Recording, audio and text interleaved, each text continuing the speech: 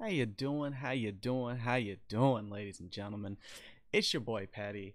And uh, real quick before we get into the topic of the video today, um, I just want to say I love you guys. Uh, we just hit, um, got approved for the YouTube Partner Program, so we made it. Um, we also just passed 1,500 subs, so thank you, thank you, thank you, thank you. Um, channel's just over, just over three months old now um and and we we doing good. I'm usually not one of those people that can give myself credit for anything but we doing okay y'all. We doing all right. I'm i'm almost to the point where i'm proud of me. We still got a while. We still got a while. Anyways um so we're actually going to be looking at something a little bit different than what we normally do today. Um we're going to be talking about some game theory. Um your boy spent honestly, once you see what they look like, entirely too long putting all of these slides together. um, but I wanted to make a video that um, that where we start to kind of look at some of the things that will make a difference in how you're playing. Um, if you're running groups and everything, and you're the leader, it's definitely going to make a difference because I thought of this um, from just watching me auto in dungeons and be like, there's a there's a mob right behind us, just right behind us. So, we're going to be talking about positioning and then grouping and then kind of how you move around or what's are going to be some of the best decisions to make depending on the situation you're in. This is going to be really basic stuff. Um, I hope to do some more complicated ones in the future. Um, and I also hope to up the level of info. You can't see my hand. Up the level of infographics that we're making um, so that stuff is just a little bit clear. But we'll get there. We'll get there. We'll get there. Petty's trying, y'all. He's trying. Um, so let's go ahead and just jump right into it. Um, so we should be starting off with ranged, if I remember correctly. We are! Hooray! So obviously, red dots are enemies, and white dot is you.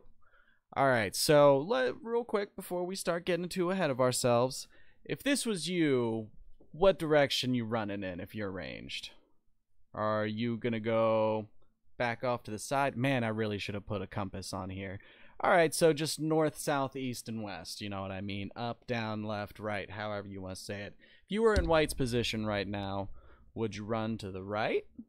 Would you run to the left? Are you just running straight back? Where are you going? So this is kind of what we're going to be talking about um, in the video, and as we're going through the slides, we're going to be explaining a little bit why. Uh, this is going to be pretty applicable to any ranged class. So gunslinger, soul dancer, assassin. Um, there's going to be some differences for everybody. So assassins, um, for instance, have a you know a move that will suck everything towards it as like a little gravity well that makes grouping super super super super super super super easy. Um, but say that moves on cooldown it's still important to know these things. Everybody else it's going to matter a little bit more how you're moving where you're moving um, to make sure that you're getting as many hits on targets and as many targets as possible to best you know increase your damage if you're in a leader if you're a leader in a group and everyone's auto following on you this is going to mean everybody's doing more damage because they're just doing the same things you are. Um, so this will this will help across the board. So what did you decide? You going right? You going left? Where are you going boo? Where are you going? Should probably be going to the left.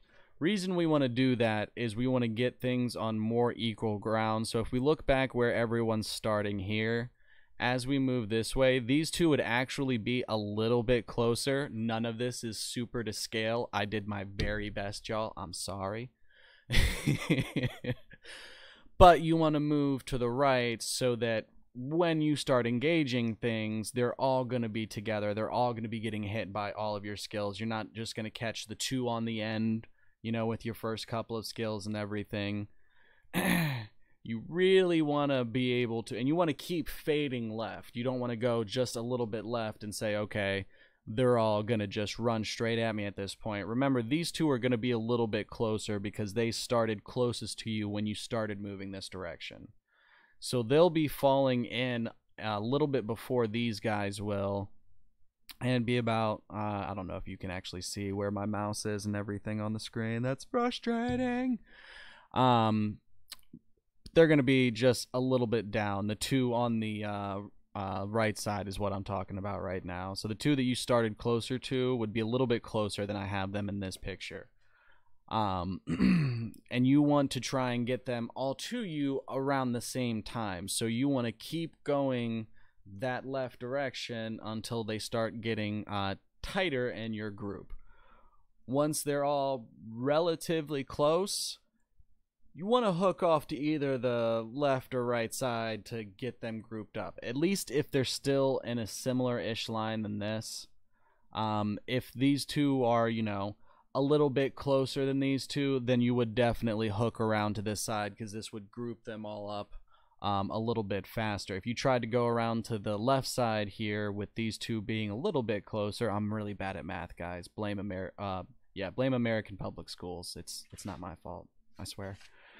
Um, but that little hook will help you get everybody nice and tight there. And you should, you know, as a soul dancer or uh, any of the ranged and everything, you should be hitting just about everybody with all of your attacks that you're casting at this point. This will have will give you the most damage.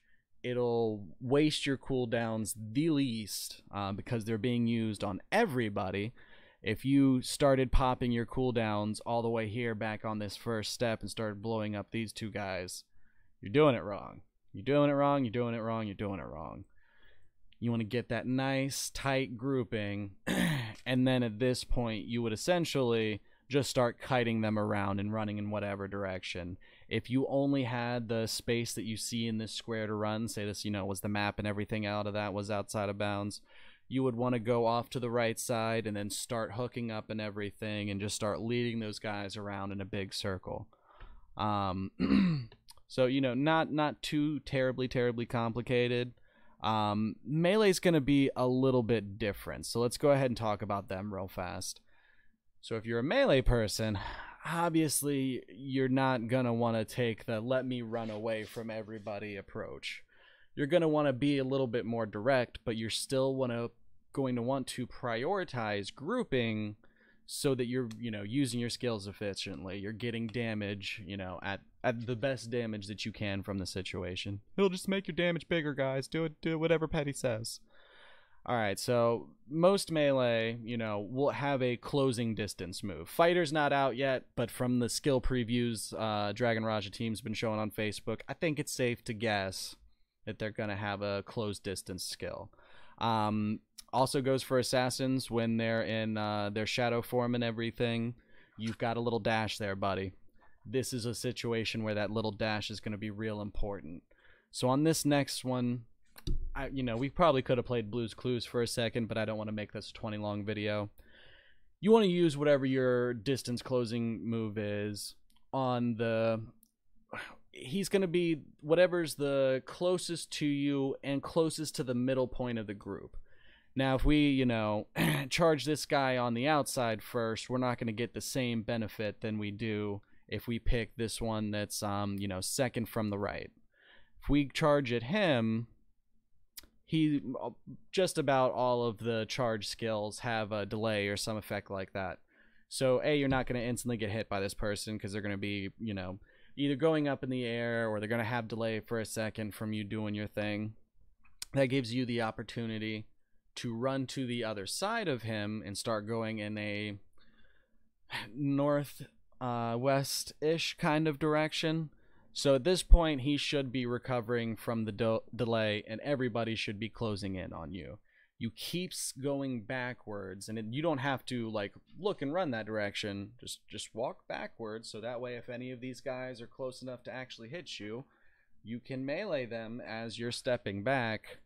But charging that line getting the stun on one and then crossing over him and then you know basically gathering the group on the other side of the monsters is is is going to be your friend there. Um, you're going to be able to hit everybody. You're going to get the most damage. And again, if you're the leader of the group and you do something like this, it's you're not going to have a bunch of people behind you, and that's really really just wasting everybody's time Petty's not making this entire video to try and shave 10 seconds off his dragon hunting teams. No, no, not at all. All right, so let's say there's not a super, super pretty line of these guys for you to stand there and appreciate. Imagine you're surrounded. What are you gonna do? Really, what, what, uh, what's, what's your first guess? Which direction would you be going here? do you want to, you know, chase the guy that's furthest away? And actually, just to, I know I said stuff wasn't super exact. I paid pretty particular attention to how I laid these ones out. So one of the two on the left or right side is actually a little bit closer than the other one is. So let me let me go ahead and just take all of the suspense out of here. Where's it gonna go? Where's it gonna go? Oh, went this way. so why did we pick the guy um, to the left or to the west?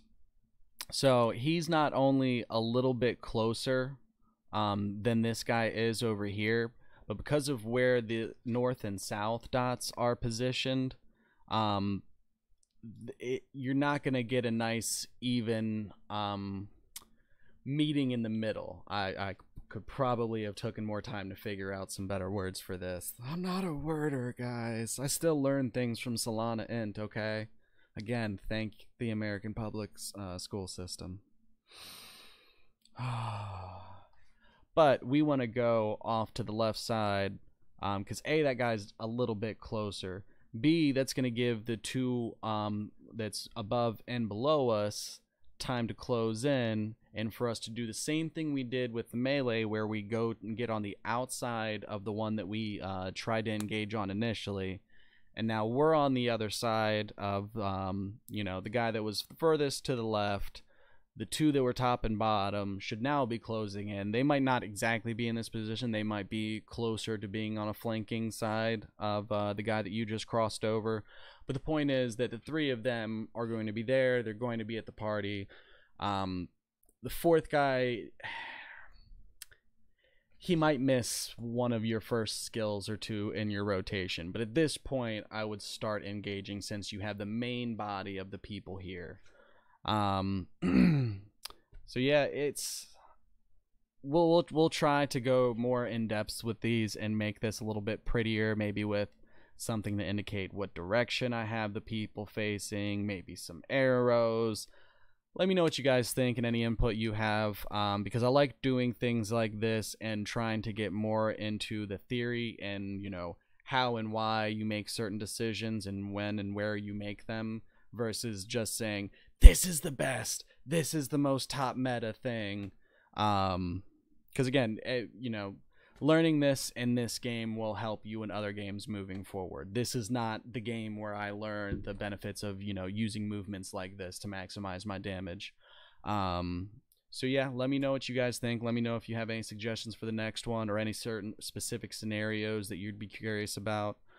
And um, we can also, you know, try and use actual dungeon maps as an overlay for a background next time if we want to get into specific fights. Go like full old school raid uh, explanation videos from back in Wrath. Oh, we'll we'll do something.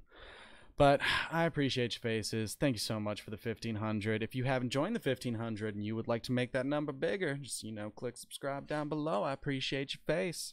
All right, y'all. It's been your boy Petty, and I think we out of here. Deuces.